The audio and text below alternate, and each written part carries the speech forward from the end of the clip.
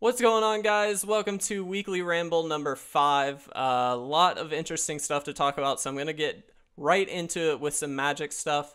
We're going to talk a lot about the difference in scenery behind me and things like that as well. Uh, a lot of this one's going to be dedicated to the channel itself, but a couple things really quick with magic related stuff.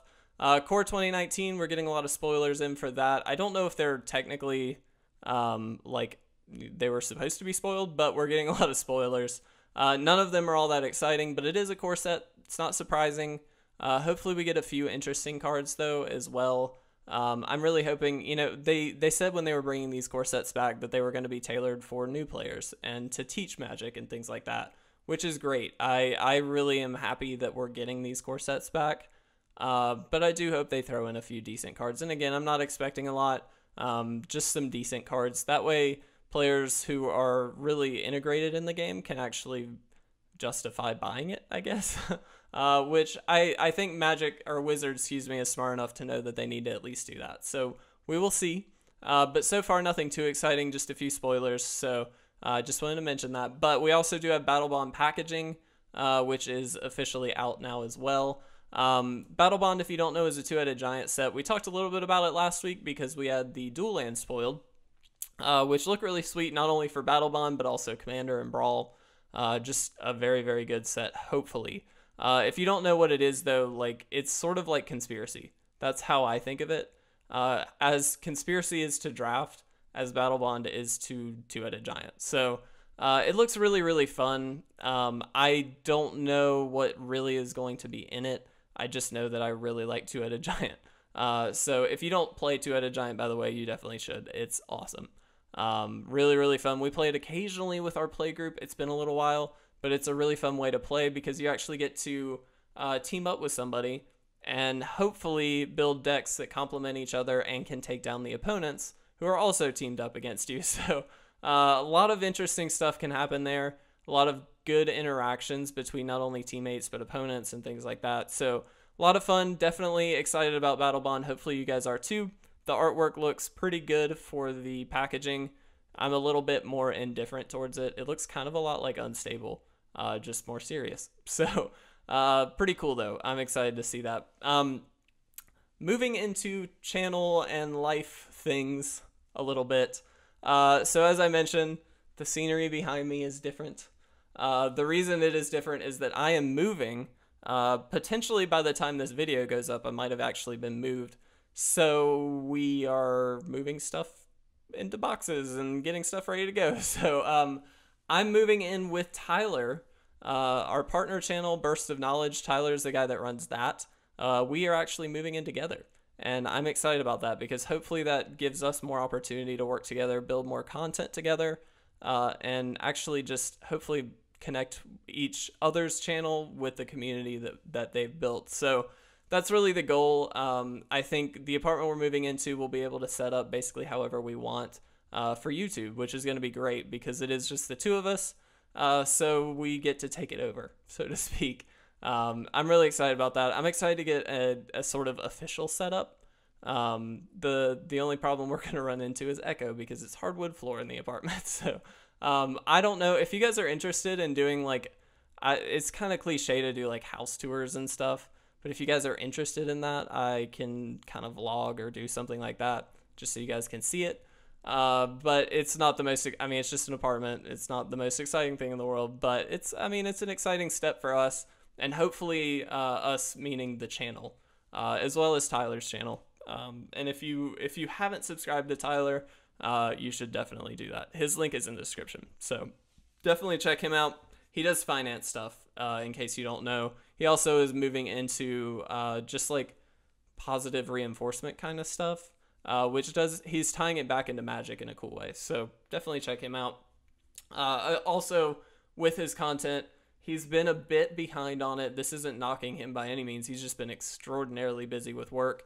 Uh, but he is getting out of that period and starting to bulk up on a few uh, videos that he can then release out as scheduled. So uh, he's getting into it. It's just taking a little bit of time, so be patient. But uh, he will have some stuff out for you very, very soon. We're hoping to get kind of on a schedule with him uh, that that he can start releasing videos on a regular basis. Uh, that way, you guys know when to expect it. So that's the plan. Hopefully, we can build each other up with that. Uh, the next thing I want to talk about Parks is back. If you don't know who Parks is, Parks was our resident streamer, as we like to call him.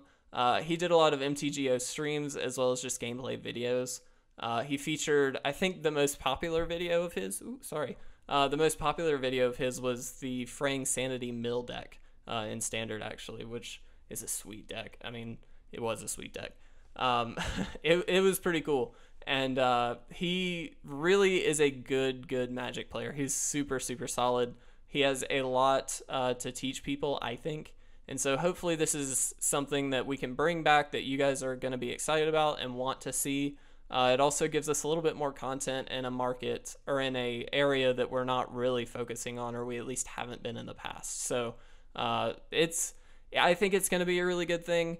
Um, and hopefully you guys enjoy it. If you do, make sure to let Parks know.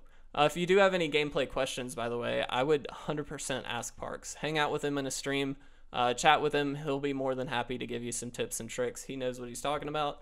Um, if you want to know when those streams are, it should be Sundays at 7 p.m. Eastern Standard Time. Uh, I don't know for sure, but that seems to be his best time, and that should start this Sunday. We've got a few pieces that we need to finish up first, but uh, essentially, what we've done is created an It Resolves uh, MTGO account. And so if you see it, see us on there, it's probably Parks playing it, and um, you can actually hang out and watch that. Uh, but basically, we're setting up that account for him as well as all of us. That if we want to jump on at any point, Will and I, uh, we can just go do that. So that's really the goal. Um, we've traded literally every individual collection into it uh, just so we can build that up a little bit. So uh, it should be a lot of fun. Hopefully, you guys enjoy that gameplay again. But um, yeah, moving on. We've got the last big piece of news. I've already spoiled it on Twitter and Instagram, so you may already know.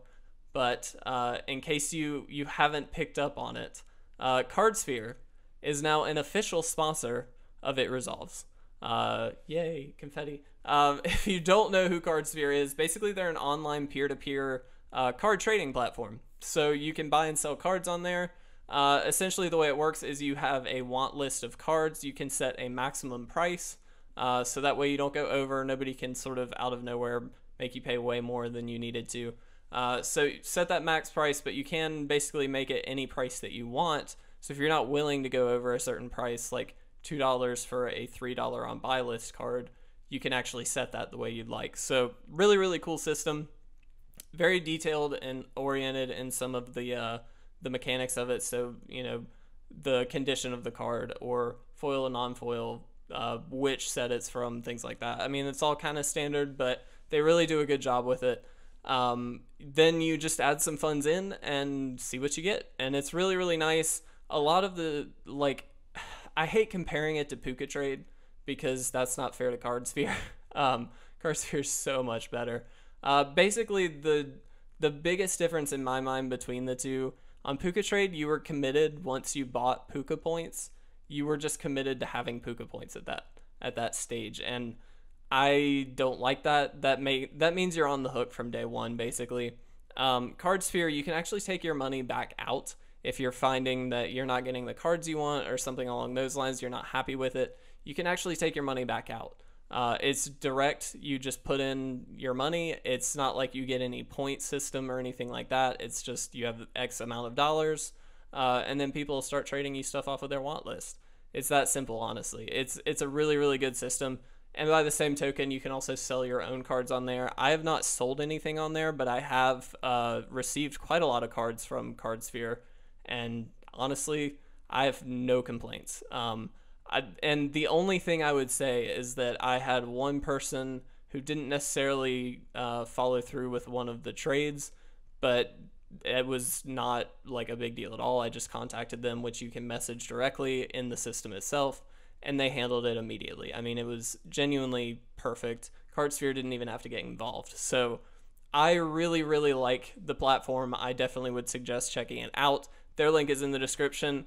We are more than excited to be hooked up with Cardsphere, though. Uh, they are a lot bigger than us, but they they really provide a good service, and that's what we're interested in.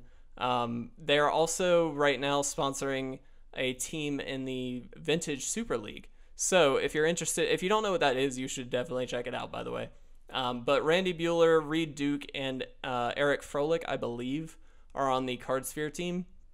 I don't know how they're doing. I haven't checked in with it just because I've been busy with moving and things like that. But uh, they're three of my favorite players, to be honest. Reed Duke is probably up there in like the top three. Randy Buehler, I like, but not quite as. He's a great player. Uh, and Efro, I don't actually know tons about, but I know he's really good. Uh, so definitely check out the Vintage Super League. Uh, check out Cardsphere. They're awesome.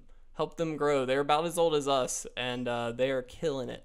They're doing such a good job. So check them out. We're excited to work with them. Uh, hopefully, you guys uh, will will learn to love their program as well, or their platform as well. Um, so with that, uh, it's a bit of a rambly episode, guys. I'm sorry. I've been a little scatterbrained just with the move and everything.